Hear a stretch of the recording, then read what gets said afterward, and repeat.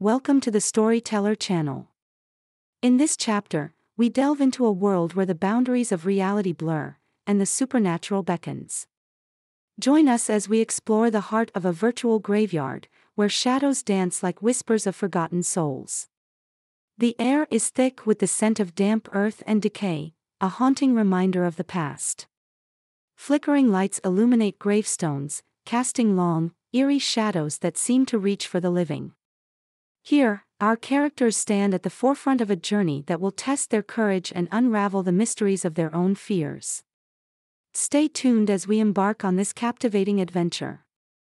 In the heart of the virtual graveyard, Lila stands at the forefront, her heart pounding like a drum echoing through the stillness.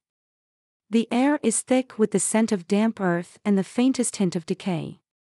Beside her is Marcus, his skepticism momentarily silenced by the weight of the moment. He has always questioned the supernatural, yet here, in this realm where reality blurs, he feels the stirrings of something deeper. Ahead looms a vengeful entity, a swirling mass of shadows with glowing eyes that flicker like dying embers. It embodies the essence of fear itself, a reflection of their insecurities and the darkness they each carry within. Jasmine steps forward, her warm brown eyes wide with empathy, clutching a small token, a shimmering leaf collected from a spirit seeking closure. We can't let it consume us, not now, she urges, her voice steady despite the tremor in her hands.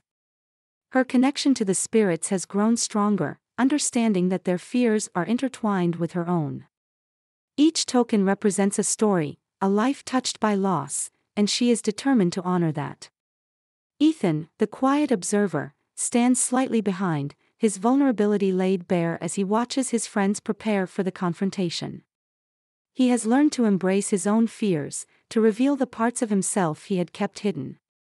Together, we can face this, he says, his voice a soft but firm anchor amidst the chaos. The bond they have forged through shared experiences has become a lifeline, a reminder that they are not alone in this battle. As the entity surges forward, a tempest of shadows and despair, Lila closes her eyes, channeling her artistic spirit. She envisions the vibrant colors of her imagination, the strokes of her brush that once felt inadequate. With a deep breath, she opens her eyes, transforming her fear into a radiant burst of creativity. The shadows recoil, momentarily stunned by the light of her resolve. Marcus, inspired by Lila's courage, steps beside her, embracing the creativity he had long dismissed. He summons the tech savvy spirit they had helped, and together they craft a barrier of shimmering code, a protective shield against the encroaching darkness. Jasmine and Ethan join hands, their energies intertwining, creating a circle of strength that pulses with the rhythm of their hearts.